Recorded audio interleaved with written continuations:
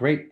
Okay, this is Dan Kittredge um, here for the second uh, iteration of our, our deep science conversation, everything that we've been doing through the BFA. We've got Greg Austic here to uh, jump in. I'll do a um, 5, 10, 15 minute overview and, and uh, justification. And then Greg will, as we did last time, jump into more of the, um, the details.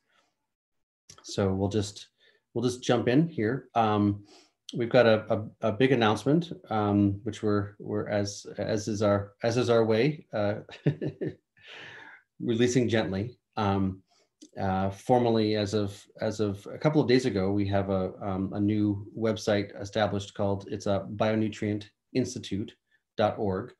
Um, we're pivoting all of the work that we've been doing um, on the science side with the Real Food Campaign into the Bionutrient Institute, and then we're going to be uh, keeping the Real Food Campaign as a as a, a frame to be engaging the broader community and audience. So I'd like to talk a little bit about about that work, um, what, where we're at with the institute, and some of the exciting things that have allowed us to get to that.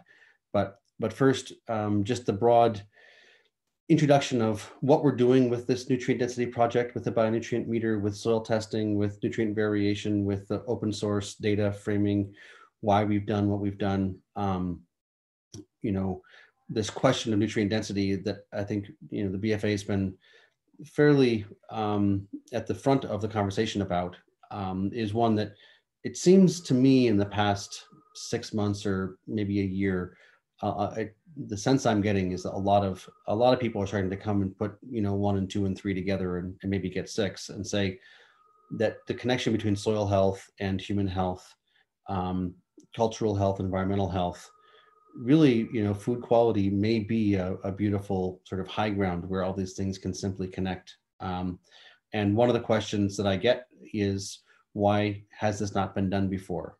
You know, why do we not know what nutrient density is? Um, and so I'd like to sort of just go into that for a little while and talk about the complexities and and the um, and the strategy that we've come up with, and then a little bit about the institute and where we think we're going, and then um, Greg will will will jump into those you know more technical points. So, um, you know, it was about four years ago, I guess, maybe five. Um, I think it was actually almost five years ago in August of 2016 uh, when the uh, staff of the BFA got together for a retreat. And we'd been giving our two day courses around the country for a few years and talking about nutrient density and talking about spectrometers and testing and this vision of, oh my God, wouldn't it be amazing if we could do this?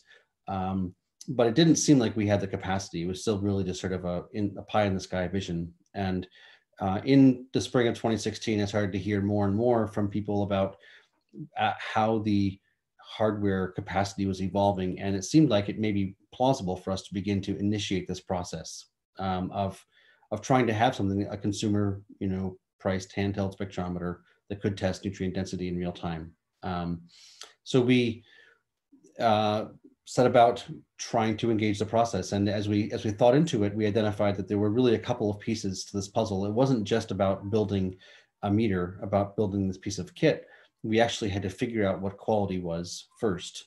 Um, and that really we needed to not only figure out what quality was, but we would like to understand what caused it because our you know our core constituency at the BFA has been growers, uh, people who are actively involved in the process of producing food, and our courses had been you know ways to think more deeply, understand more more subtly what's going on and how to work with the natural system. And so we really wanted to be able to correlate directly those management practices and environmental conditions that improved plant health and those that didn't, um, so that we could do a better job teaching our courses and really be able to support growers well. Because how do we know that the recommendations we're making are true, right? We if we don't have the data to support it. Um, hopefully, we've got some experience from the plants growing outside, but every year is different. The temperature is different. The water is different. The seed quality, you know, teasing out all those connections is quite difficult. So again, we started off with the idea that we wanted to build a meter that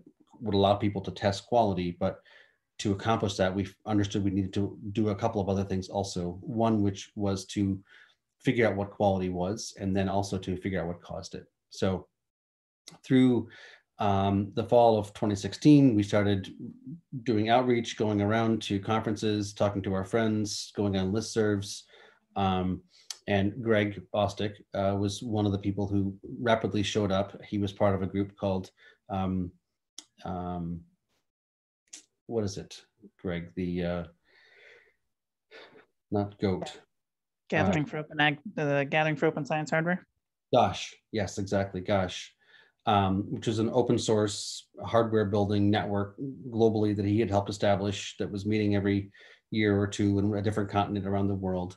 Um, and, you know, he seemed like a, an, an, amazing ally to be able to hopefully integrate into our team. we, you know, have the, specialty in the, um, in the agronomy and the biological principles side, but not necessarily in the engineering or the, or the science side. So um, Greg was someone we reached out to and were able to inspire to uh, engage in the process.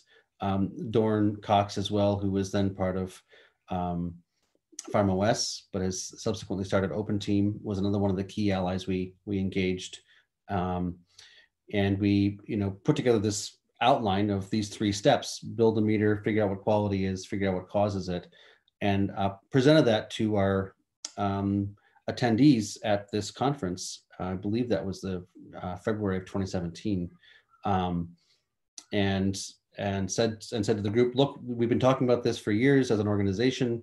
Um, we think it's now time to start doing this work. Um, here's the people we've put together. Here's the broad vision of how we want to accomplish it. We really think this whole thing needs to be done in the commons, open source, so that it can't be controlled and sort of sideswiped later by larger, you know, forces.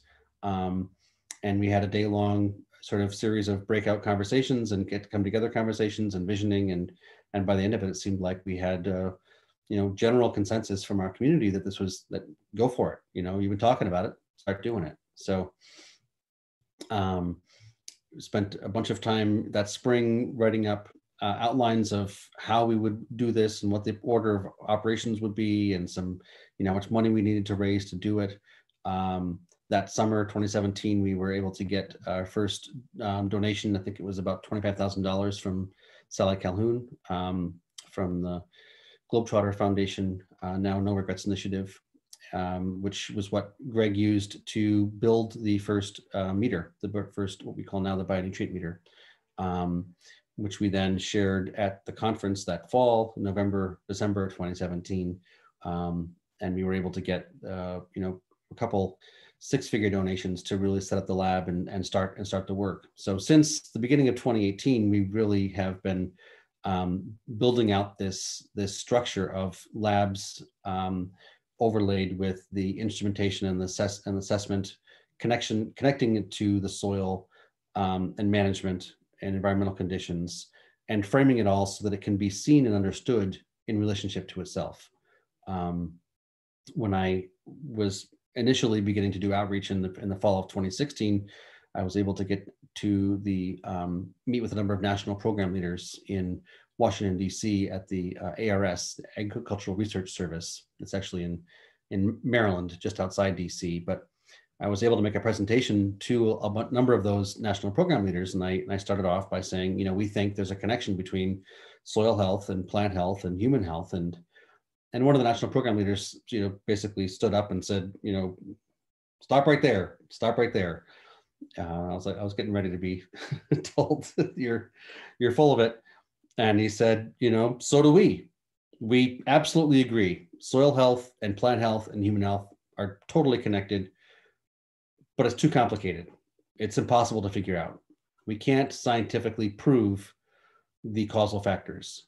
Um, and if you understand you know different forms of science you know if you want to do a you know a hundred percent guarantee this caused that um, that will work well maybe in a chemistry set an abiotic system but it doesn't work well in a biological system. Um, you know in a living system there are always multiple factors present. Um, and so what i pr- proposed to them and i think we've been moving forward with i call it an epidemiological style of analysis. Um, then i use the example of um, you know, if there's a, a cholera outbreak in Haiti and the um, the health workers are trying to figure out where it is so they can, you know, stop it. we know enough to know that um, you know cholera is waterborne. Um, oftentimes comes from um, you know unclean water sources, and so what they'll do, you know, what the what the health workers will do in, in, a cholera outbreak when someone is confirmed to have it is they'll ask them 60 questions. You know, where were you yesterday? What did you eat? Who did you talk to? Where did you go? Where did you sleep? Um, and if you get 50 people and you ask them all 60 questions and you find the patterns where, you know, all of them drank water from one of five wells, then you have a pretty good odds of you know where this came from. And you can go and you can test those wells and you can see that's where the cholera is and you can shut them down and you can stop the outbreak. Um, that's not you know the classic replicated randomized trial version of science that a lot of agronomists have been practicing over the past number of decades at least in the sort of the formal university system although there have been a number of farmers who've been experimenting you know with different practices and techniques and materials and products and genetics and planting times and seeders and everything else and found out a lot of stuff. So I can say that, you know, our understanding is that a lot of these principles about how things work are generally understood by the cutting edge um, practitioners, but have not been well proven in the science. And so part of our objective in doing this work is to build a data set so that we can begin to correlate these management practices and environmental conditions with um, nutrient variations and then be able to give guidance back to growers about about how they can change their practices so i think that's an important piece of this puzzle is that sort of framing about how the um, data is collected and what we're trying to accomplish more deeply. The other uh, key piece i wanted to talk about before going to the institute was this what is quality piece. Um, you know it's a bit of a presumption to be able to say this carrot is better than that carrot or this piece of beef is better than that piece of beef. Um, you know to say it with confidence and empirically requires a, a number of a number of facts a number of, of points. And really we want to be able to connect um, those nutrient variations with human health right? We think they should connect to plant health. We think they should connect to the animal health. Um, we think they should connect to the environmental health. But tracking that all out again is very complex. Um, and so what we've been able to do over the past uh, three years of sampling, uh, uh, Greg has been primarily the person coordinating and overseeing it with Dan TerAvest, um, is to take in a total of 21 different crops, carrots and beets and lettuce and tomato and, you know, grapes and blueberries and oats and wheat and leeks and, you know, summer squash and peppers, any number of fruits, vegetables, leaves, you know, uh, leafy vegetables and grains so far. And we've been looking at um, about 15 different elements and a couple different compounds. So copper and zinc and, you know, um, sulfur and um, phosphorus and potassium, antioxidants and polyphenols. And we've developed a database which shows pretty categorically that the variations between the carrot with the highest level of copper and the carrot with the lowest level is dramatic.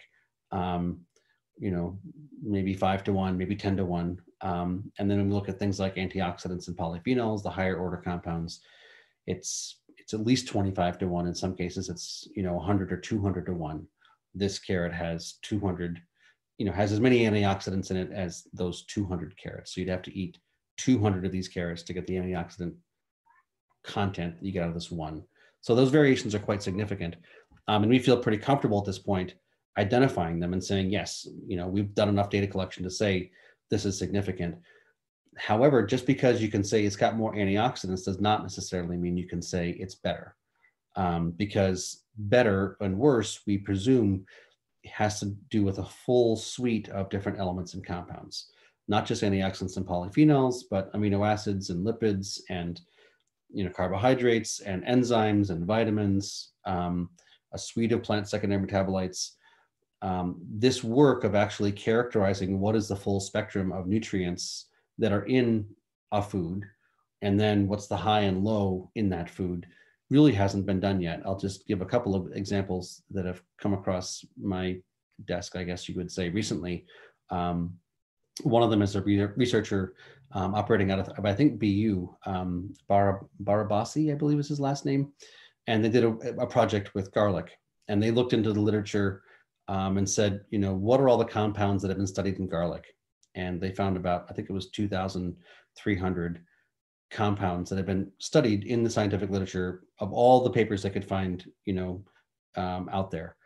And then they went and took garlic and they actually put it through cutting edge instrumentation to see what are all the compounds they could find. Um, and it was more than 10,000. So um, there is a, a, massive amount of different nutrients that are present in food. Um, and to begin to, you know, to presume to say this is better or this is worse in our mind and our thoughts requires understanding what's there to begin with first. And so um, that's part of what's so exciting about where we're at now and why we're pivoting from the Real Food Campaign framing to the Bionutrient Institute framing is um, we've been able to uh, get some, you know, significant funding uh, earlier this year from the, the Grantham Foundation, uh, Grantham Environmental Trust. Um, we've uh, set up a, a, new lab here in Massachusetts. Um, the the fancy instruments are being uh, calibrated, turned on next week, um, and we're going to be able to go from looking at 15 elements and two compounds to you know 500 compounds or 1,000 compounds or 10,000 compounds. We have the instrumentation now to actually look at that full suite from the amino acids to the lipids to the enzymes to the vitamins to the terpenoids, alkaloids, phenolics, everything. Um, so being able to make that being able to make that leap um, in our work from proof of concept, which I like to think we've I like to say we've been for the past three years, 2018, 2019, 2020 um, you know, setting up the first lab in Michigan, setting up the second lab in at Chico State in California, the third lab in France, uh, going from the first year, uh, just a few people sending in samples that they received from their, uh, they got at the local grocery stores and farmers markets to last year working with 150 farmers, um, two, two crops in 2018 to 21 crops in 2020. Um, now the instrument, we're hopefully going to be shipping it out next week. The um, the updated version of the bionutrient meter, which has calibrations for eight different crops. Um, so you can, you know, flash a light and say, antioxidant level, we think it's in the 84th percentile. It's probably between the 70th and the 100th, but it's we're going to guess it's it, it's likely between the 70th and the 100th, and we're going to we're going to say 84. So we're, we're able to do that with eight different crops now, with all the samples that have gone through the lab. Um, so we have a functioning meter, a handheld portable consumer price point, uh, open source meter. We've got variations defined in nutrient levels um, on 21 different crops.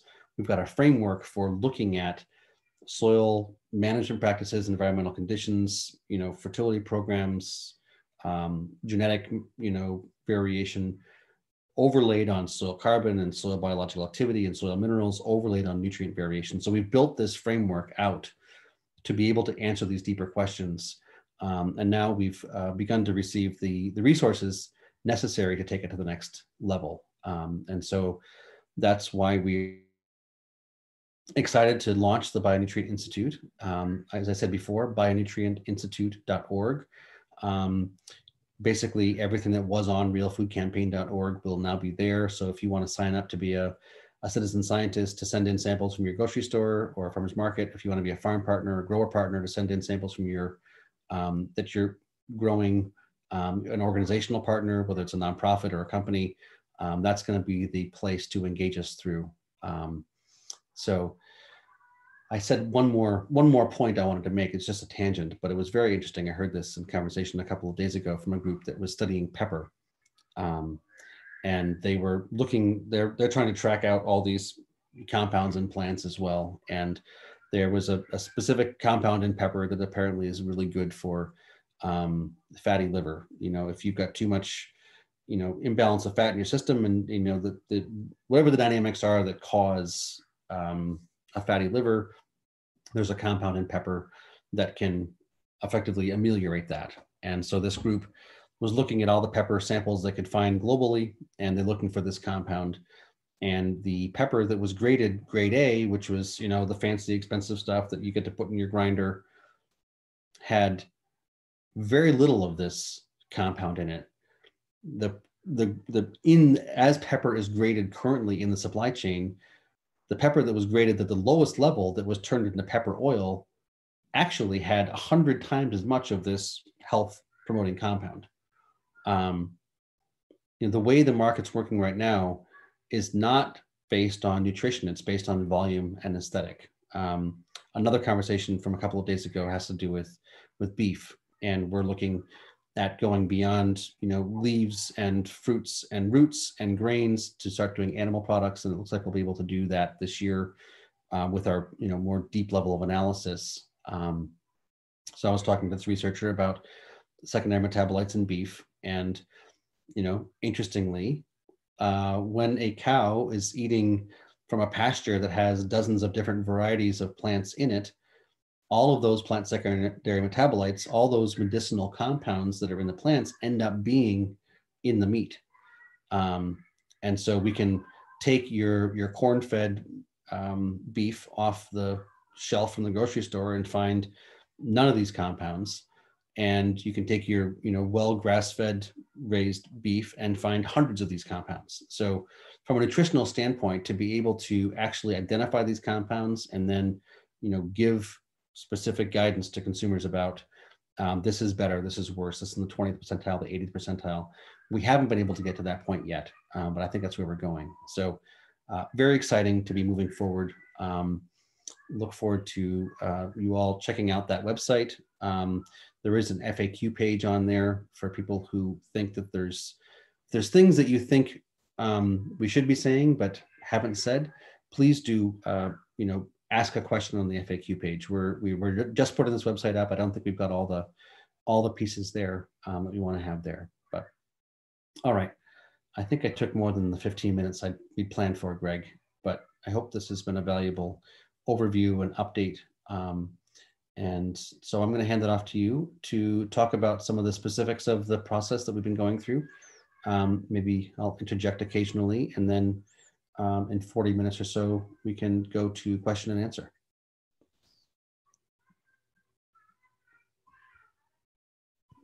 Awesome. All right. Um, well, thanks for the intro. I may repeat some things, um, but hopefully not too much. So, um, it's a complicated uh, conversation. So sometimes it's good to hear it said in different ways by different people. I think that's right. No, I think you gave a really nice history on that. I don't, I don't think I'm going to touch on that as much. So I think that's great. Um, so yeah, I'm Greg Austic, I'm co-founder of, of OurSci, and we run a lot of the technical implementation for the Bionutrient Institute. Uh, and I'm gonna be talking today, I'll share my screen here quick. Everybody see that? Oh. Um, yes. So yeah, and, and I wrote words on the screen. Um, you can mostly just listen. Um, I don't have a lot of images. There's just one slide really. So don't, don't feel like you have to watch the screen. I'm gonna cover it all verbally. Um, so the topics for today that I wanna cover is why do we measure what we measure right now as part of the Bionutrient Institute um, data collection effort? And how do we get there? Not too much of the history, but really I want, I wanna show the logic chain. Um, and then also knowing that, um, what can and should we measure in the future? What am I excited about in this coming year or in the next two years? Where do we see some opportunities? And then um, I'm just going to walk through the 2020 data because we did we did finish up with a, a, released version of that data dashboard. We showed that I think a month or two ago. It was a little bit early. It's a little more polished up now. So I'm just going to walk through a couple of um, couple of ways that I walk through that data, show you some interesting things that that I found, and hopefully that gives you a starting point to be able to start looking at the data yourself. Um, so those are my the three items I'm going to hit. So, um, so we're going to start with why we measure what we measure. Everything in this section really comes back to this goal. Um, you can design things a hundred different ways, but our initial goal was really broad, transparency of nutrient density in the food supply. That as the primary tool for a very broad level of change, right? The goal is the change, um, but this is how we're going to get there. And this is a big, big statement, right? It's not transparency of like peppered, you know, vitamin C in Michigan. It's a big statement. And therefore, uh, the, the, the bigness of the statement drove a lot of decisions um, down the road. So I just want to state that so you know it and you can see it as we go. So the consequence of that big statement kind of lays out these requirements and constraints that we had in determining how we were going to, to design um, the setup and then also which measure, measurements we were going to include. Um, we have three clear questions uh, that, that emerge from that. How much variation is there? What's the source of the variation? And can we predict it? Um, they they emerge pretty straightforwardly if you just say, all right, I want transparency of nutrient density in the food supply. My answer is this pepper's a six, right? Like this pepper's a six. Like doesn't tell you anything, right? But I technically answered your question. Um, so the first thing you have to know is a six out of what, right? A six from four to seven or a six from zero to 100. Um, the second question is why is it a six, right? Like what, what was the cause of it being a six? And is that, if that cause is knowable to me, can I make a different decision on the basis of knowing it? I can buy this versus that, or I can, I can have a preference for planting this seed versus that one if I'm a farmer or this management practice. Uh, and then the prediction element is really about scalability. Um, if we can't predict variation using a meter, using just data, maybe, um, using information from the person who's looking at the, the particular crop, um, then we're always going to be stuck in having to send samples to a lab, and that's just expensive and not scalable, and, and we don't achieve our goal of, of having that very broad impact. So those three questions, they're just, they just naturally emerge from that big statement, the big goal. And then finally, the, the, the second piece is nutrient density has to be a meaningful thing. I think Dan, you know, made this point. Uh, it sounds almost like an obvious statement, but um, returning the value of a single compound is not that meaningful for human health, right?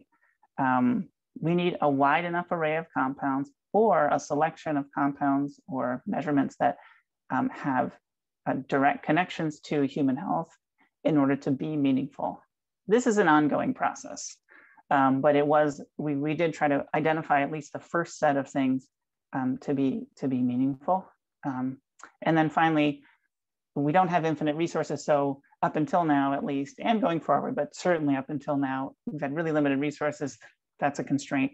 And we still want to have this really broad impact. So how do we use the resources we have to create something that's scalable and have the most impact we can? So let's focus first on these first three questions.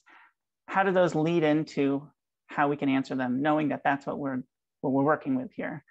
So, and again, Dan mentioned this, we have two options for how we can collect data to answer those questions. Um, we can do targeted studies, right? That's your classic like side-by-side -side trials. It's, uh, it's the kind of work that's done in academic research or in a large scale in private companies.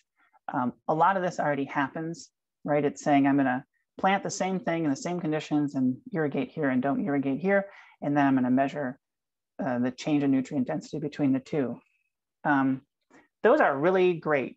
And they allow you to make really specific statements um, of pretty high confidence. But they also have a lot of requirements. They require that you have land, that you can do a side-by-side trial. They also kind of predefine what it is you're trying to look at, right? In a side-by-side -side trial, you can't say, well, I'm just gonna see what happens, right? You have to say, no, no, no, this one's irrigated and this one's not, right? This one's managed this way and this one's not. So we're predetermining um, what we are looking at in these kind of trials.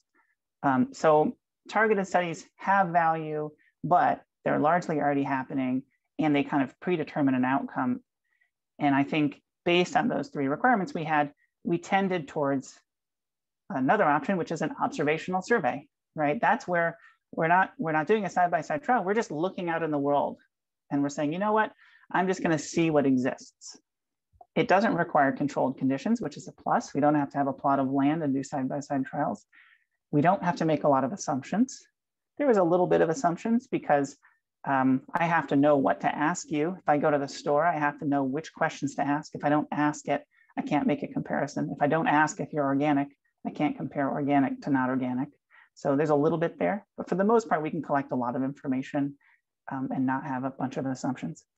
Um, And it allows you to make more generalized statements about the state of the world if you've done a good job in your survey design and that kind of stuff.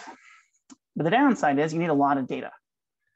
Um, so there's downsides and upsides to each of these options, but we chose the second for a couple of reasons. One, because in order to answer these, especially last two questions, you need a lot of data anyway. You need a lot of really diverse data. Um, there's no way to build the kind of models to get predictions without a lot of diverse data, um, or at least we didn't feel that way. So we decided to go with this observational survey, and that's what we've been doing for the last couple of years. Uh, so that there's there's the motivation. So um, so now the question becomes. Oh, so here's I just want to give an example of like what kind of statements can you make from these two things? You know, if you do a targeted study, what kind of statement can you make when you're done? versus an observational one. In a targeted study, you can say, say you did a comparison of no-till beans and till beans. You can say no-till beans have higher antioxidants than tilled beans based on my study. But your study was done in Ohio on sandy soils with this variety to Dan's point of talking about you know, multi-factor analysis. So you're limited in what you can say, but what you can say, you can say fairly accurately, right? So if I was an Ohio farmer on sandy soils running that variety, like this is a fantastic study for me. If I'm a Washington farmer um, or you know somewhere else, I may go, well, I don't know if this applies. Whereas an observational study, um, we can make that same statement, but be a lot more confident that it's true on average. The downside of that is the, the no-till beans and the tilled beans may have huge, huge number of samples at a really wide range, but the average difference between the two could be statistically significant, right? So there's still a ton of no-till beans that are worse than tilled beans. Uh, it's just that on average, one's a little better than the other, and we can say it with statistical significance. So the downside of that is, well, upside of that is as a user on average, I should, I know that I can probably eat no-till beans. They're going to be better for antioxidants in this case. But as a farmer, does it mean I should take this to the bank and bet my whole farm on no-till beans? Not really, because you have to look at the rest of the variation.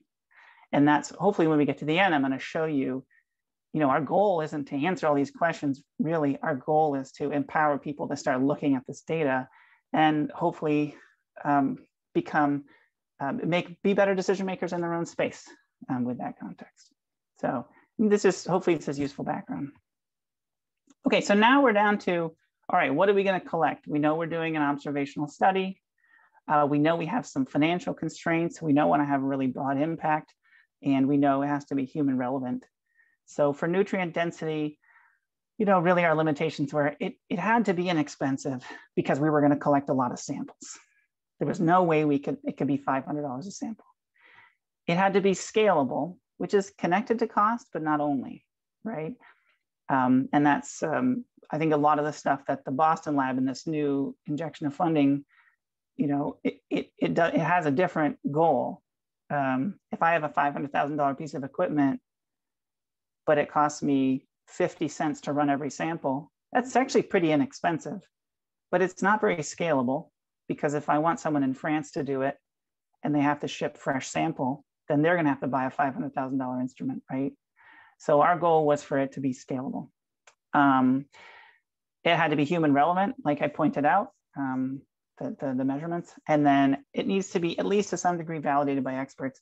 That's important because you know you could come up with something yourself that's that's relevant for nutrient density that you think is really good, but it's not out there in the literature. No one else has run it. It's not validated. Even if you think it's magical, it's probably not one we should focus on.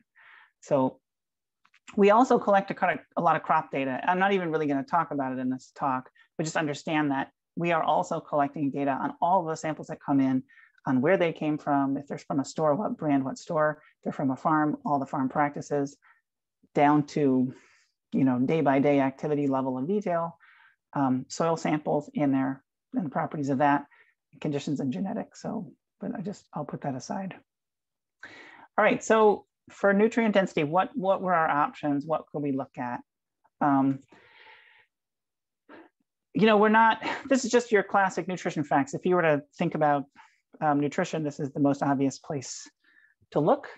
Um, we're not really interested in this top section. Like we're not interested in for kale if it has more or less fat or more or less carbohydrates. Um, we're really interested in this bottom section, macro and micronutrients, uh, and then also other items that aren't even necessarily on the list, right? The kind of specific compounds that Dan was talking about. Um, these items, um, this is where they're generally done. If we were to outsource another lab, um, there are labs that do bulk testing for these kind of labels or other bulk nutrition testing. And then there's a lot of academic research and methods based on other specific compounds. And the, the short of it is that these are just, they're ex, it's expensive to outsource. Um, I think um, it's, it's possible to do some of the individual measurements less expensively, especially these other compounds. Um, but because we can only do one compound at a time in a way that was scalable, meaning not with a lot of expensive equipment, those individual one-off compounds were not very human health relevant and often didn't apply across lots of crops. So sure, maybe we could measure lycopene in watermelon, but like no one cares about lycopene in the other 18 crops, right? So it's, we have to be, we had to be efficient in the things that we chose. So hopefully that's a good framing for like the constraints, what our options were, what we were thinking, how we got to that decision point. Um, and now I'll just kind of show, you know, where, where we ended up. And this is for this last year. Um, these are all the crops that we ran up here. Um, we have changed and adjusted this a little bit over time, um, but this is the 2020 version. Um, so we'll start over here with the crop methods. We measure the weight, density, um, dry weight. That's really important in order to get an accurate final measure for anything you're doing. Um, then uh, we measure surface reflectance, which is what we're attempting to build these um, nutrient density estimates on. It's just flashing a light at the sample and see what comes back, or flashing a light at a ground or processed sample of some kind and seeing if that helps the prediction. So we do that. We measure Brix, again, widely known and understood antioxidants. We chose that because it represents a very large class of compounds and it's really well studied and it doesn't require expensive equipment. Polyphenols, similar reasoning, and then minerals uh, using the XRF. I'm going to talk a little bit more about that tool in a minute, but we do get a suite of minerals, including potassium, phosphorus, sulfur, uh, calcium, zinc, uh, magnesium, manganese. Um, but that, that's the sort of human relevant list. We get some other ones that are less relevant to human health. And then on the soil side, um, we, we collect a soil sample next to the crop sample and we take the top four inches, then the next four inches of two soil horizons, and then separately we measure surface reflectance, pH, total organic carbon, soil respiration, which is an estimate of biological activity. Basically, if you add a little water to the sample, how much of a biological flush do you get and you measure that flush. Um, minerals using the same tool, the XRF. And then this last year and this coming year, we're also sending all the samples off um, to Logan Labs to do their full suite of testing. And Logan Labs does, I think, a Mehlich 3 extraction and then does some uh, recommendations, sort of standard agronomic recommendations on the basis of that. So that's um, extractable minerals and, and, things like that. Um, so those are the things that we chose, like after all that caveating that I provided before. Um, and ultimately, what's nice about this suite of things is that, uh, like in the case of the lab in France, when they said, hey, we're interested in running these methods, uh, it wasn't more than ten or $15,000 to start up the whole lab. Um, so it allows us to be scalable and ultimately then have impact and identify partners in a way that um, using more expensive tooling or even just more expensive um, labor, you know, uh, would have been. So, and you can go look at um, our testing protocols here. Uh, and um, this will be updated in the bionutrient website. It's just not right now. We're going to get all the stuff over there, but just so you have that link. Um, great. Now I want to talk about um, the, the XRF, um, which really I think is kind of a secret weapon. I think if we didn't have the minerals component of these things, this would be a lot less compelling. But I do think the minerals component makes it a lot more compelling. Um, so this little instrument here is the Bruker Tracer 5i XRF. Uh, it's an instrument that shoots X-rays at a sample and then measures the light that comes back. Um, and what's nice about it is uh, it gives you a pretty direct response or a direct estimate of total minerals in the sample. Um, and for crops, especially, that's really relevant because total minerals is that's those are directly human relevant. They're really well studied. They're externally validated. Um, and normally, if we were to outsource those, they'd be quite expensive, um, like 30 to $50 to do an external lab per sample. With the XRF, um, even though the XRF itself is fairly expensive, like $40,000, um, so it has a high upfront cost. What's nice about it, and this is quite specific to our application, is it has a near zero per test cost. Running a sample of it is just a couple of minutes of a person's time to run.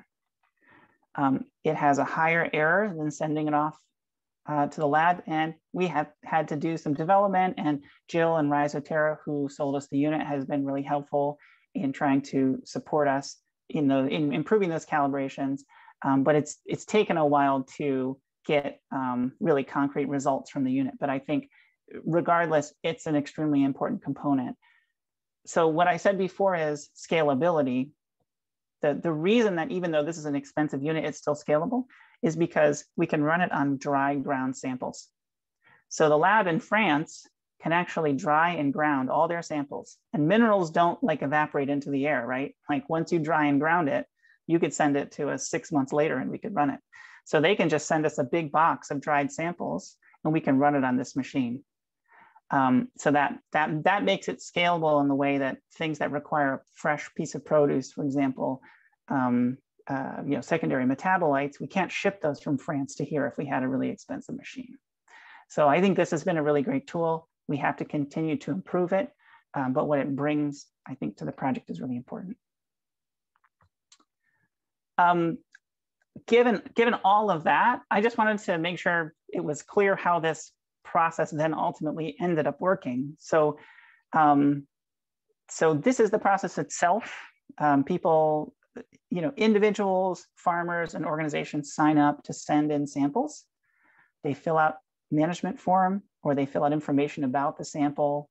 They send the sample then to us, takes a couple days to get to the mail. We receive it, we intake it, uh, scan it, run polyphenols, antioxidants. We run those minerals, the XRF I was just talking about.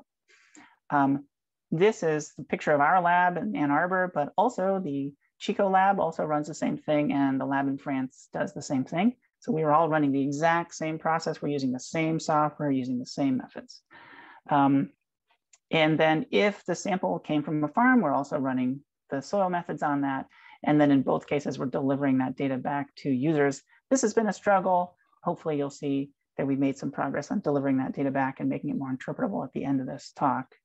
Um, we have a lot of other people involved in this too. We have a whole team of people who support and interact with uh, all of our partners to make sure that data is collected and they're supported.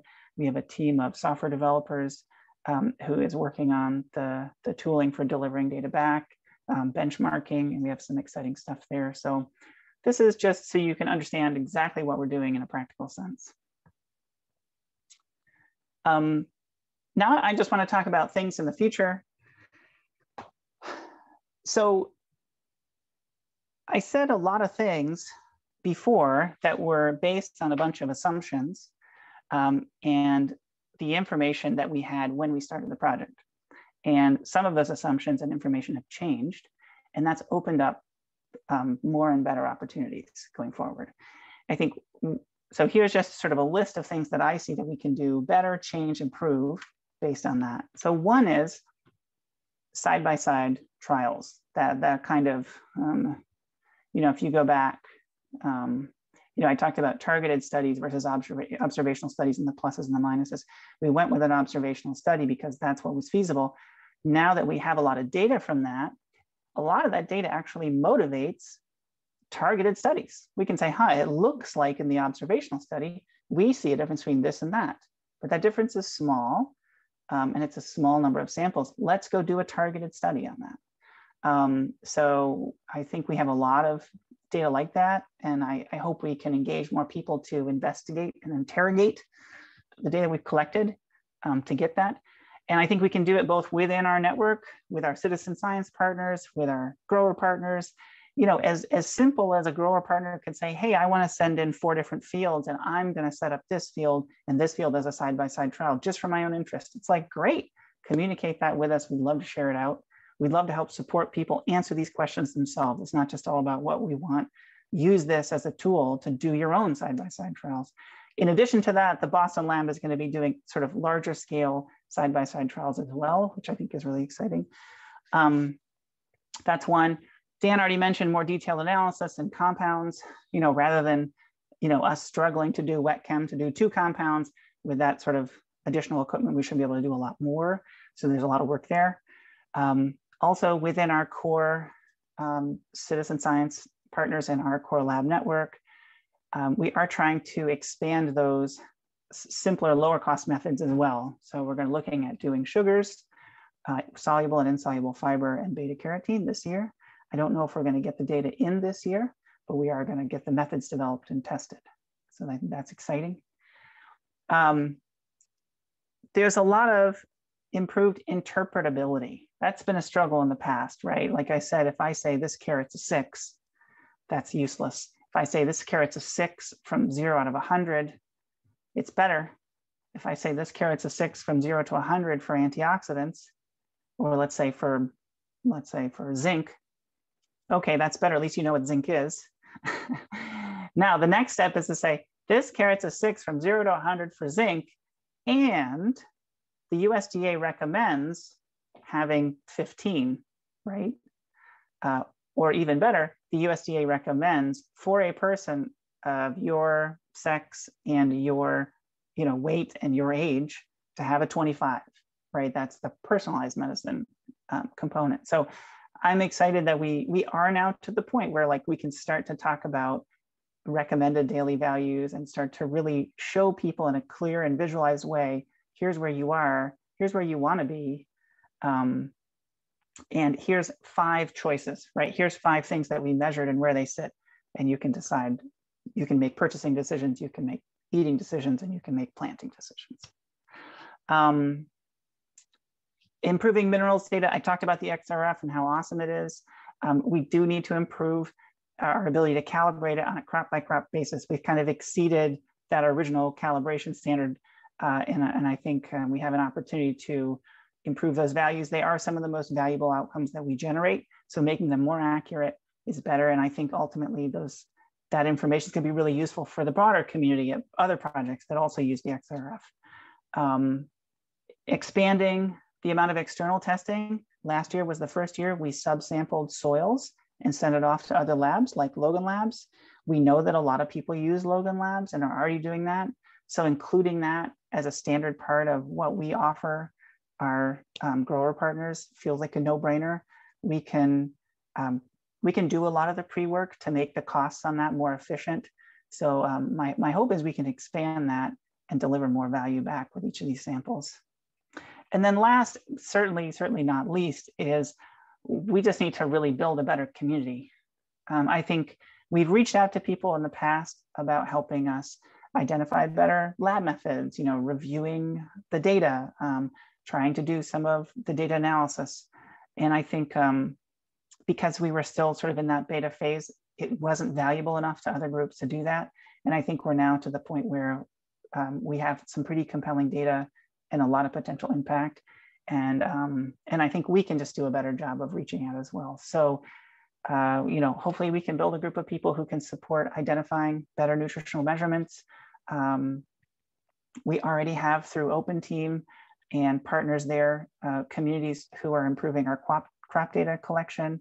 Um, uh, like I said, sharing experiments within our communities. And then one of the things I'm kind of most excited about, I think we're doing not at all, and we should be doing a lot based on some of this data, is to talking to breeders. Um, genetics plays a really, really important role here. So we can talk about changes in management, and that's real, um, but specifically identifying um, varieties and starting to measure um, nutrient density in varieties at the point of varietal creation uh, and reporting that to people who are going to be buying these seeds, I think is really good. Uh, to, to Dan's point, um, uh, I don't want to, we don't want to be reporting these things as a negative to people who don't have them or as a negative to people who score low today on what we're doing. And we're primarily interested in establishing a framework so that as we go forward, we can improve um, and increase the number of nutritional measurements we can make at a reasonable cost. We're gonna have a great framework to be able to deliver that out to all the decision makers in, the, in this food supply chain. Um, so that was really it for the presentation part. I'm going to walk a little bit through this Data Explorer data dashboard. Um, you can find more information about all this stuff at bionutrientinstitute.org. Um, Dan already said you can become a partner. Uh, we're always looking for organizational partners. That could be um, academics who are running side-by-side -side trials and want to include nutritional measurements in their work. It could be, you know, individual growers. It could be grower networks. It could be supply chains. Um, also citizen scientists, people in cities, and also if you're a developer, if you want to do data analysis, um, we do a lot of that. So um, that would be sort of specialty, but feel free to contact us if that's your interest. Um, so unless there's, unless we want to stop for questions, Dan, I'm just going to roll into the next piece. It'll probably take like no more than 10 minutes. I think, yeah, we talked about that being something that would be part of the presentation. And yeah you know, the presumption is half an hour for questions at four. So cool. we got about nine minutes left. We nailed it. Um, all right. Okay, so if there is not now, there will be, um, can we just put it up today? And Dan or Chris, if you want to link it into the chat, a link to this dashboard from the Bionutrient Institute website. I'm sorry, I don't have it, um, but maybe somebody could get into the chat. Um, and the other it'll be there in a couple days if it's not okay. right now. So yep. yeah, sorry. It's this is all in process. Uh, but it will be there in a couple days. You can go to the bionutrientinstitute.org and you'll find it there. The other thing that's not there yet, but will be soon is this video walkthrough. It'll be very similar to what I'm going to give you today. So if you're like, I don't know what to do with this, like click on that video walkthrough and it'll be five to seven minutes and it'll it'll get you understanding what you need to do. So um, great. So, um, so this is just a representation of the data that we collected so far in 2020. We are going to try to pull in the 2019 data as well. And my hope is as 2021 data comes in, we can start to populate this as well. So expect this data set to grow. Um, and it just gives you the ability um, by, by a bunch of things to make comparisons, say what's high and what's low and and um, and and maybe learn some things. So uh, the first thing I want to highlight is each of these columns represents one of the tests that we ran in the lab. So we ran antioxidants, uh, we ran Brix, we measured all of our minerals right in the crop itself. Um, we have this little combined minerals function, just sometimes it's nice to combine them together. Individual minerals can be hard. So this is combined minerals that are relevant to human health. Brix, this kind of stuff. You can also run uh, for samples that had soils, um, organic carbon and pH and polyphenols. I'm sorry, organic carbon and pH and uh, soil minerals as well. And that's the soil sample that was next to the crop sample. So remember that the soil and crop samples are always connected one to one. So that's what's here. And you can do that in each of these columns. And then on the side here, it shows you what the type of the for, um, sorry, the category of sample. We have a lot more data about these samples, but these are kind of top level categories that we created. So a biological sample is someone who identified as a biological farming operation. Transitioning is the same. Some of these are certifications. So this would include store samples because we'll know if it's certified organic.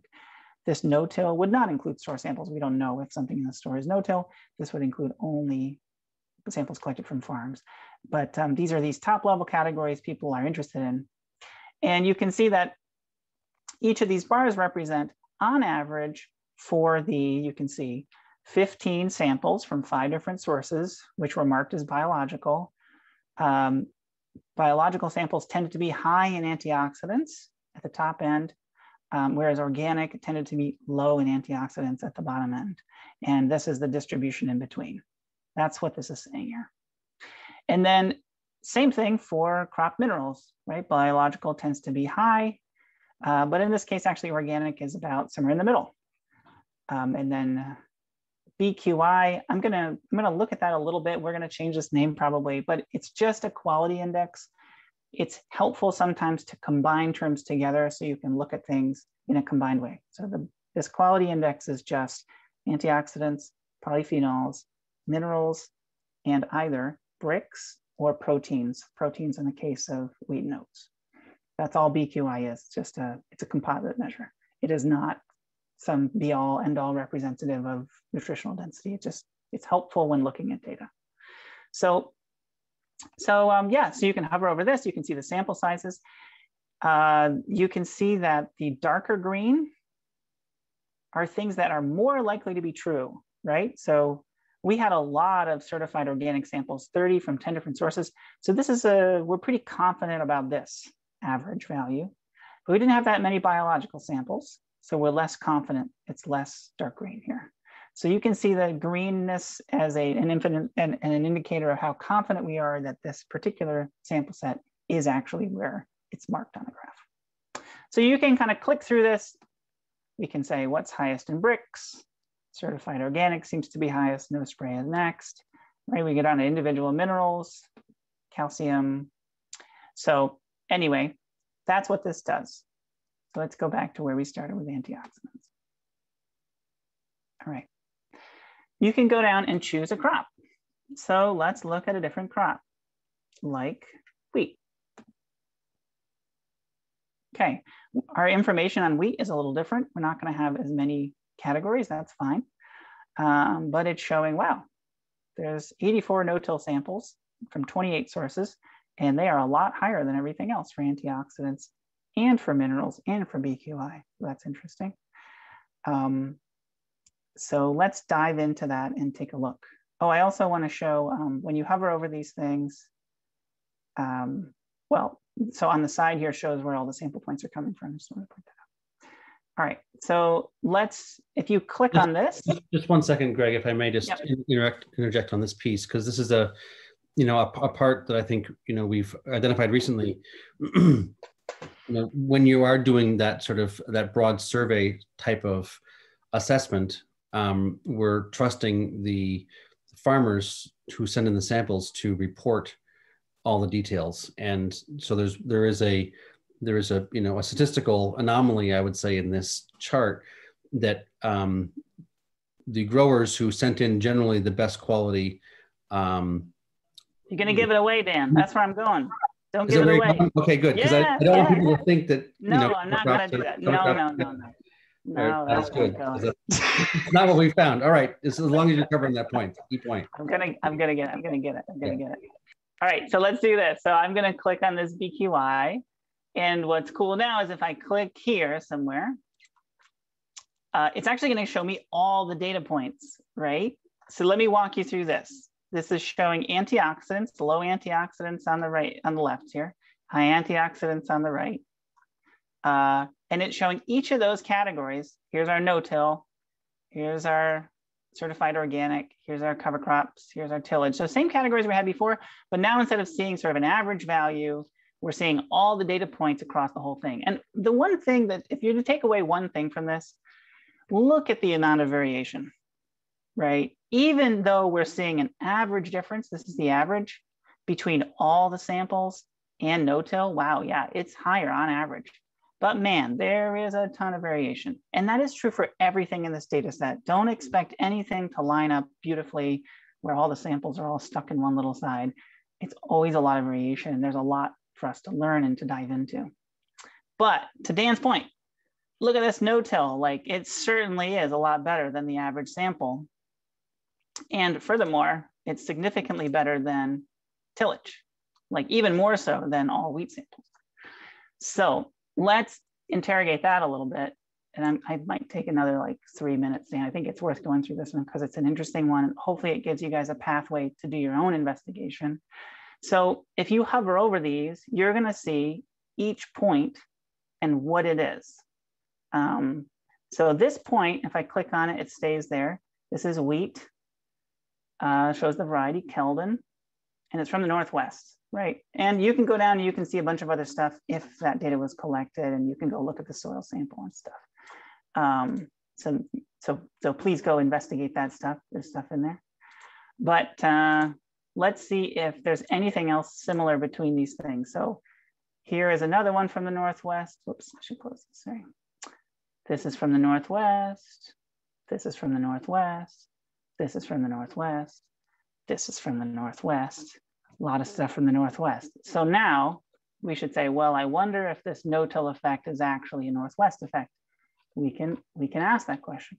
So if you come down here, um, you can look at presets, which is cool, and I'll do one of those after this. But you can also scroll down and you can pick other things. So in the climate region, I can say, well, I want to choose Northwest. So give me a filter that lets me see uh, as a row just samples that are from the Northwest. There's 108 of them, by the way. Now, give me a filter for all the samples that are just not from the Northwest. Watch, this is super cool. If I click on this once, it's from the Northwest. If I click on it twice, it's explicitly not from the Northwest. So there's 190 samples not from the Northwest. I'm gonna add that filter too. So now let's scroll back up. Hey there. Did I get him? I didn't get him.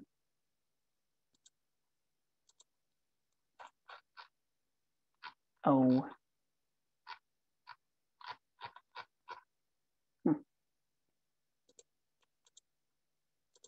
Maybe we broke something in the last two minutes.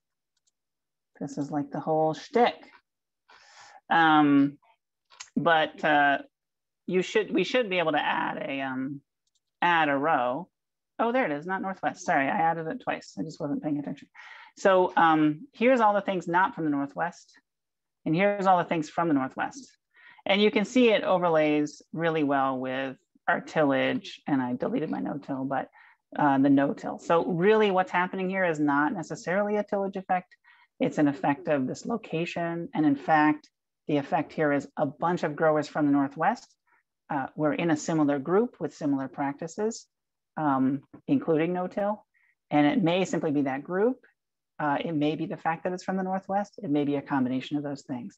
So, um, you know, this gave us the ability to um, see differences among practices, investigate those differences by clicking around and looking and see what we see, creating new filters um, based on things that we feel like we learned, and then investigating to see if those filters line up with our expectations. Um, so yeah, hopefully that's um, an interesting sort of initial overview of what this can do. There's a lot of other stuff you can do. Obviously, you can look at other things. Um, you can look at um, combined minerals, which I think is really interesting. There's still some um, some issues with this. We'll have to get it cleaned up. But um, you can look at other crops. We can look at beets, for example. Um, so anyway, take a look at this. Um, hopefully this is a nice overview and it sort of gave you a sense of you know what you can learn in a single run. So yeah, I think that's it. Great. So there's a bunch here, and that's a great foundation. Uh, we hope for this process, and uh, we're getting into the place where we can actually begin to engage it more, more comprehensively. So um, yeah, I think. Uh, thank you for all the work, Greg. Not just the presentation, but all the all the creativity and effort and life force you've been putting into this project for the past uh, number of years. Without you, it certainly would not be where it is. So Thank you. Um, I'm just going to start uh, reading out the questions here, and then we'll, I guess, see who answers them. Um, uh, Bill T uh, says, as for seeds and breeding, the seed industry sends the best seeds to big growers and worst to the home gardener market. Um, I would say potentially because the home gardeners aren't asking for the better ones. So yeah that's the that's the way it is uh, people who are in the business know know the importance of seed quality so even within very even within a a, a variety type there are you know healthier seeds and less healthy seeds and so they are it seems sorted by industry and distributed based on uh, market um, market demand. So, um, yeah. Um, Torvin asks, are you aware of Greg Schumacher's work? It seems to be very similar to yours, so I'm wondering if there's any cooperation. Um, Greg Schumacher uh, is part of uh, Teak Origin. Uh, there's a couple other partners there. Uh, yes, absolutely familiar with them. Um, they're based here in Massachusetts. Um, started as a project, I think, at MIT Food Lab, and now they've got their uh, main lab in um, uh, right outside right outside of Boston. Um, yeah, they have been working to um, with sort of big uh, um, supermarket chains. I think uh, Tesco's in England and Walmart here and a few others. Um, I think they started working with Target originally, uh, and they what they've been doing is sampling crops off the shelf from those uh, stores and assessing the nutrients that are in them in relationship to what the USDA says is on the package. And so Greg showed us that that USDA label before. If you look at you know carrots, they'll say vitamin D, and you know every six inch carrot contains 110 percent of your USRDA for vitamin D or something like that. we know that that you know vitamin D is not uniform in, in carrots; it actually varies greatly. And so what Teak Origin's been doing is basically publishing reports to say this week at Walmart, the blueberries are, you know, 115% of the overall USDA, what's supposed to be in them. And at uh, Whole Foods, they're at 80% um, in this in this geographic region. So um, their model is not really to try to identify the complete variation of nutrient levels in crops and to develop a a standard based on that. Their model is to take the USDA average and say where things sit above or below it. Um, what we found with our with our data collection is that the the variation is massive, and the average is poor. So while there may be a you know a, a bell curve of variation, um, most stuff is at the bottom, and so the USDA average actually does pretty honestly correlate with what we found as what's average. Um, it's just that it's in the 15th or 20th percentile of what's possible. And so, um, so that is what, that's what Teak's been doing.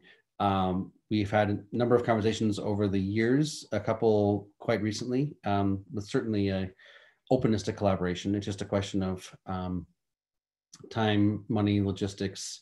Everybody's got a lot going on, um, but certainly there's, uh, you know, active um, open open communication between us. I think I was just on the call with with Greg a couple days ago. So yes, very familiar with them and appreciate what they're doing um, as a as a piece.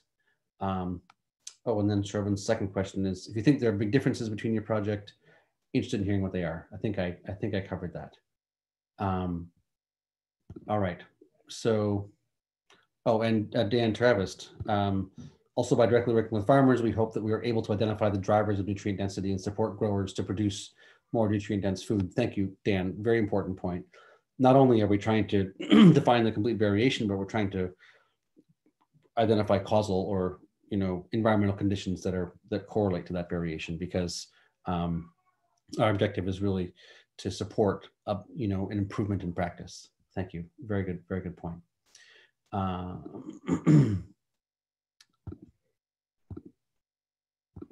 Okay, Sherry has a, a long question. Um, understanding that flavor and taste is very subjective, would you have any interest in doing a citizen-based flavor comparison observation as part of the data collection? I would want to pose this to the eater as a rating system, not based on like versus dislike, but an evaluation of levels of sweet, sour, bitter, salty, umami. Also, in addition to the health benefits as seen in the compounds, would you also be willing to, to open the conversation to flavor enjoyment as part of the healthy food intake. Um, these things could fall into the observational survey data collection. I know that uh, flavor is a part of some of the sampling that's been going on in the lab. Greg, do you want to touch on, you know, the, the lab the lab crew has been doing that. I think certainly Sherry broadly we're open to that kind of collaboration, but the logistics, time, effort, in energy um, would need to be considered. But, yeah, yeah, yeah. Um, we, we actually do have, if you go um, to the dashboard, we did collect um, uh, sweetness, flavor, and taste scores, but it's for a pretty small number of samples. and I don't feel like we, we did do some background research on people on how people score those things typically. Um, and so we, you know, a, a little bit, but there's so much variation in individual taste.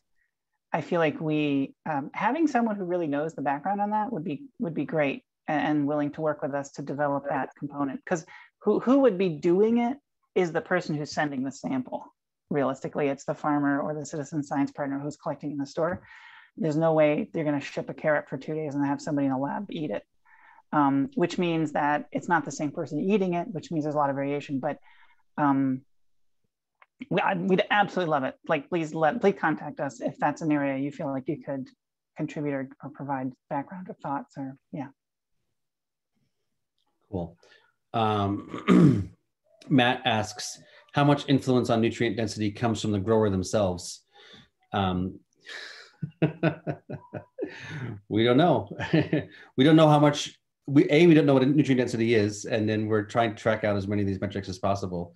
Uh, thus far, we've been focusing on physical plane um, environmental conditions. So, um, you know, did you till? How deeply? Did you use cover crops? Which ones? Um, what fertilizer did you use? The conversation about intention, um, which I think is where your question's coming from, Matt, is something that's uh, very difficult to measure um, and then that therefore be able to define in the sort of classic Western um, scientific framework. So we do have a couple of presentations coming up on that and the importance of it as part of this series.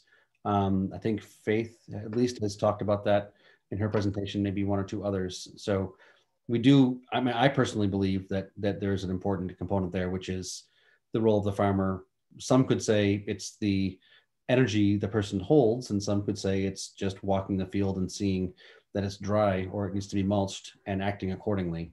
So, you know, what's the balance between your presence causing things to be managed differently versus your presence inherently having some value? Um, love to be able to get to the point to be able to answer that question, but I think it's still a, a bit of a ways off. I, I, I can't answer, but I do want to show that, um, you know, if you're in here, this is our quality index uh, for wheat.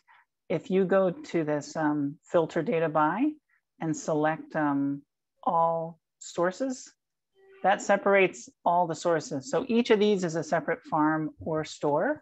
So you can actually see like, you know, in the case of wheat, we actually usually collected three samples per farm. Um, and it's showing both the sample and then this uh, shows the, the variety uh, here. But you can see that like, yeah, there, I mean, you know, common management practices and varieties on a single farm, they do bunch up, you know, stuff's not totally random. Um, the, the way to try to dig a little bit further on that is to find something that has the same variety uh, um, across multiple locations and then see if you see a lot of variation there. So we can click on this all varieties for a single crop. Hopefully this works. So here you can see this one, uh, I believe is from multiple farms, but is the same variety. Um, and yeah, there's definitely more variation, right? So management or the person themselves is playing a role um, here pretty clearly. And there's there's some others like this. This is also Heartline was was from multiple farms. Obviously, there's more variation. So yeah, there's just sort of a practical, not an answer, but um, a place to look. Cool. Um, running low on questions and still have time. So anybody who's wanting to pose them, feel free. Um, Bill asks, is the goal still the inexpensive handheld meter when data correlation is sufficient? Uh, absolutely, that is um, one of the goals. I think you know, some people may have seen that as our, our headline goal. I, I've called it the shiny object. Um, this concept that you can walk into the grocery store or the farmer's market and um, assess in real time which bag of carrots is better for you um, is part of the is a is a goal. There's a number of other things that are also goals. So you know we want the the grower to be able to assess the plant while it's growing and understand how they can change their management to ensure that the levels when harvested are high. Um, we want to provide uh, retailers or um, packagers or, or processors the ability to make decisions about which instrument, which crops they bring in. So still on the topic of, of, you know, instruments that were being built, you know, I think for this whole process to work, we need to think about everyone, everyone in the food supply system. Um, and so the question is which meters cost how much and how good are they and um, how soon are we going to be able to build them? And I don't think I've got good answers or projections for that. Right now, we do have a, a, you know a good, solid, basically functioning instrument, but it is far from our end goal. Um, so uh, beautiful. This is the the look that you're going to get on the meter if you ordered one. So um, so I'm not sure if we've this says a, a crop. We can just say it's lettuce. Um, but so say here with this is that lettuce? You just did that just now?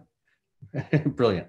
So Greg is Greg is testing lettuce with the current uh, bionutrient meter, and um, just this is the reading that just popped up on his screen. So the antioxidants level we predicted at at 82, although there's a confidence bar there somewhere in that range.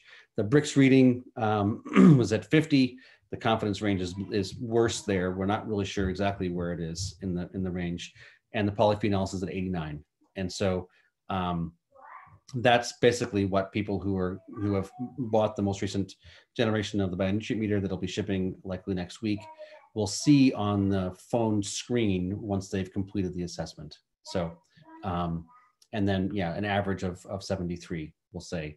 Um, so anyway, it's it's a, it, it is a significant accomplishment, I would say, to have gotten this far, and gratitude to everybody involved. Um, it's been an absolute team effort and to do this open source you know everything's not patented you know not locked up um, you know i think it's been a it's been a really successful um, proof of concept for our work um, so yeah and and one of the excited you know obviously this is still a this model still in development. Um, we'll be adding a lot of data to this model this year so hopefully we can get it better.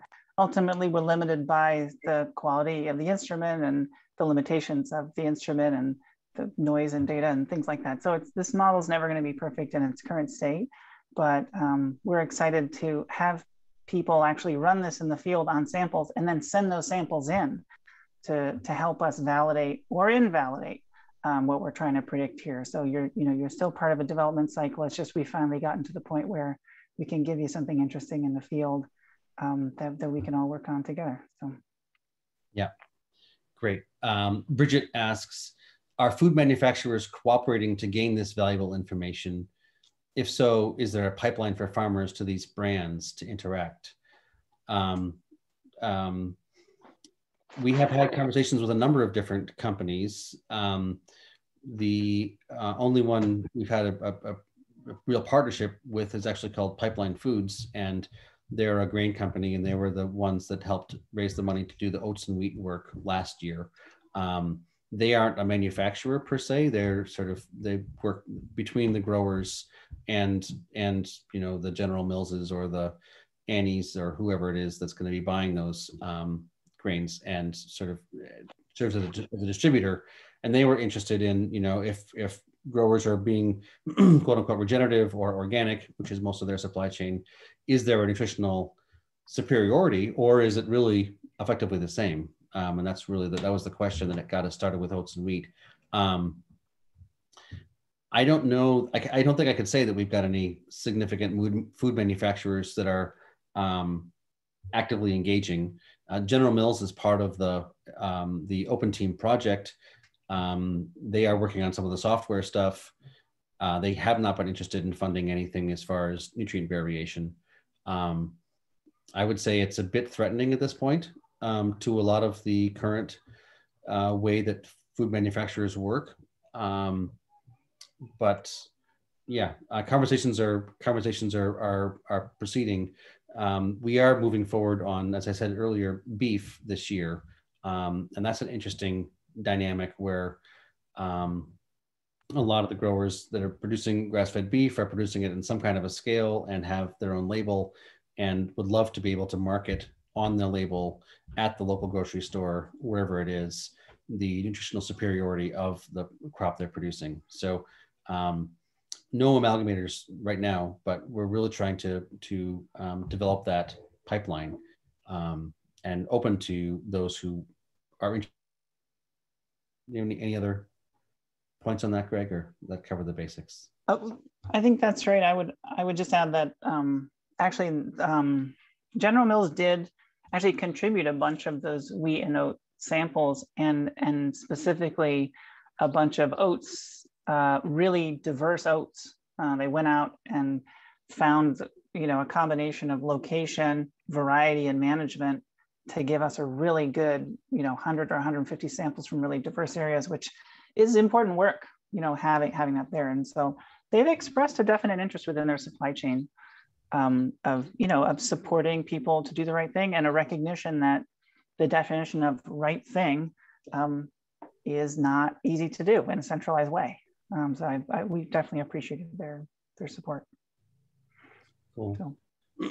Uh, Martha asks, is the display software off the shelf or custom build or somewhere in between? Um, this this this is custom built.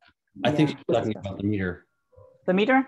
reading? Um, this uh, the software itself, well, it's all it's all custom built in the sense that we build this software that this is based on SurveyStack.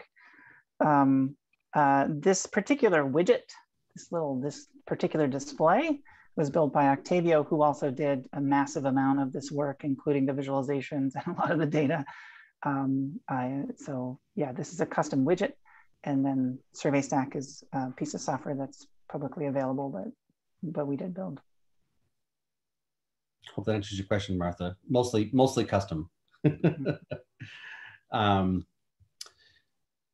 all right. Uh, Isabel asks, have you found the data supports your teaching so far, or have you made changes to your courses based on what you've found? Hmm, good question. Um, I don't think we've found anything yet that has caused me to change uh, what I present. Um, I would say that we have not interrogated the data sufficiently. Um, that's been one of our biggest problems is we've been, it's been everything we we can do to uh, keep the lights on, keep the money flowing, keep the samples coming in, get the data collected. Um, and even, you know, one of our struggles right now, or at least things that I'm, I'm focusing on, um, is taking all this work that we've done and, and finding ways to publish it in peer reviewed journals. Um, you know there's a lot of assumptions and a lot of a lot of individual papers that would be in a formal scientific process the way you'd present what we're doing um, the whole strategic way of looking at all these dynamics in relationship to each other the decisions we made about this, the lab and how that runs um, i mean there's a bunch of of points there that that properly would be published in a, in peer reviewed journals um, if you want to be getting legitimacy. So um, I'd like to think that as that's done with our work, I can speak with greater confidence. But it does certainly seem that the more the management practices that we would correlate with biological system function are showing um, crops on the higher end of the scale. So um, I feel I feel um, affirmed, at least with what we've got so far. But again, when you look at labels like organic or biodynamic, um, it matters so much how it's grown, and those labels don't necessarily, you know, I wouldn't say you have to have good biological management practices to have a, a, a organic certification or necessarily a, a biodynamic certification. So, um, the, as far as management concerns, I think we're, we're, we're feeling feeling affirmed. I, uh, wouldn't. Uh, again, the focus is on building a framework. Like I wouldn't take anything so far to the bank in terms of, you know, even just. I, I think just so much more work needs to go into identifying good um, measurements that we can be really confident, you know, deliver human positive human health outcomes. Um, even things like antioxidants that have been measured for a long time, it's still, you know, how important is that? I don't know. Um, so hopefully this framework. Well, we're going to dig deeper into the complete, you know, um, metabolome. yeah. Um, as as I've been discussing with you know with with beef recently, as a, sort of our next crop we're taking on and looking at a more a more comprehensive suite of health giving compounds. Um, I think it is, it sure does look from that data that we're looking at that um, the, you know, the rotational grazing, the, the managed multi-species um, pastures is correlating with much higher levels of human health beneficial compounds. And I think the presentation we got from uh, Pierre Weill last week was also very compelling with the work that he'd done in, in, in Europe um, on these things, how you raise the animals, what you feed them correlates directly with the health beneficial compounds in the, in the um, things you eat. So yeah. Uh, Faith asks if this is iOS compatible, and the answer is no. This is an Android only function right now because of, again, the cost of effectively, you know, it's a hundred thousand dollars to make your meter Bluetooth able to, with a um, with an iPhone, and we just haven't had those resources. Is that a fair fair characterization, Greg? Yeah, this this um this dashboard's iOS compatible and works on, you know, most. So yeah. the dashboard's fine. You can go there, but yeah, in terms of the meter, um, it, no, it's still not. Um, uh, all, I, I would say this: if you're a grower partner and you're filling out just data to submit to the lab, um, that's all iOS compatible now. So that's good. Everything, so if you're just everything except yeah. for the meter is iOS. Everything compatible. except for the meter. That's right. Yeah. Yeah. yeah. And uh, perhaps a follow up from Faith is the generation one model meter upgradable to the generation two meter? And the answer is yes. Um, we haven't sent that email out to those people who have the first generation meter, but we figure it'll be about 150 bucks. Um, you send it in, we'll update it and send it back to you. So that's it is a it is entirely plausible. And as soon as we ship out these ones that we've got ordered now, um, those people who have the old ones will get an email offering that opportunity.